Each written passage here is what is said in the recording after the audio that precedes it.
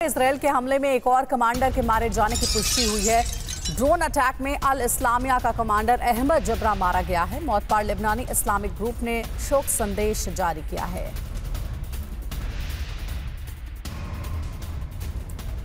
तो देखिए, मौत पर लेबनानी ग्रुप ने संदेश भी जारी किया है। तस्वीर भी आपको दिखा रहे हैं। ड्रोन अटैक में अल इस्लामिया का ये कमांडर है अहमद जबरा। इसका नाम है, ये मारा गया है।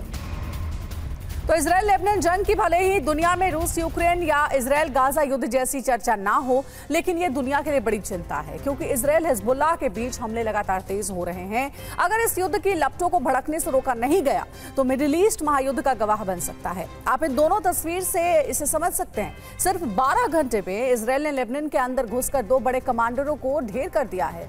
ड्रोन अटैक में कमांडर जबरा मारा गया तो मिसाइल अटैक में कमांडर हबीब निपट गया।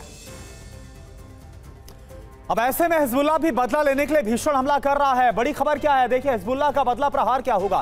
क्यूरियत शिमोना में हिजबुल्ला के नॉन स्टॉप हमले लगातार जारी है। मेरोन और गलीली में भी हिजबुल्ला का हमला हो रहा है। इसराइल के सात शहरों पर बड़े हमले का खतरा है। नहारिया से साठ हज़ार लोग घर छोड़ने के लिए मजबूर हो गए ये खबर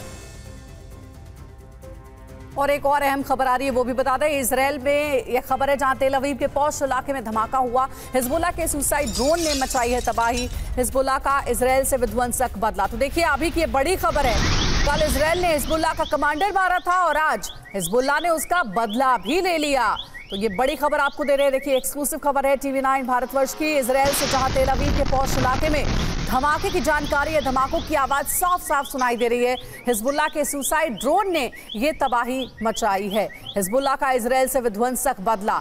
तो मनीष हमारे साथ जुड़े हुए मनीष, कल इसराइल ने हिजबुल्ला का कमांडर मारा और आज देखिए कैसे जोरदार धमाके के साथ हिजबुल्ला ने उसका बदला भी ले लिया।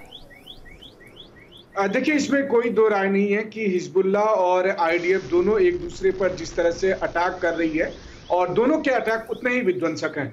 जहाँ हिजबुल्ला के ड्रोन तेल अभी तक पहुँचने में कामयाब हो रहे हैं, वहाँ पर वो टारगेट को भी अचीव कर पा रहे हैं। वहीं दूसरी तरफ़ आईडीएफ की तरफ़ से हिजबुल्ला के टॉप कमांडर एक के बाद एक ढेर होते जा रहे हैं, और उसका सबसे बड़ा उदाहरण है कि पहले उन्होंने कल एक अल इस्लामिया के कमांडर को ईस्टर्न लेबनान में मारा, और उसके बाद फिर नारवान फोर्स के commander Al, Al, Al, Al Jafar Matuk को उसने मार गिराया।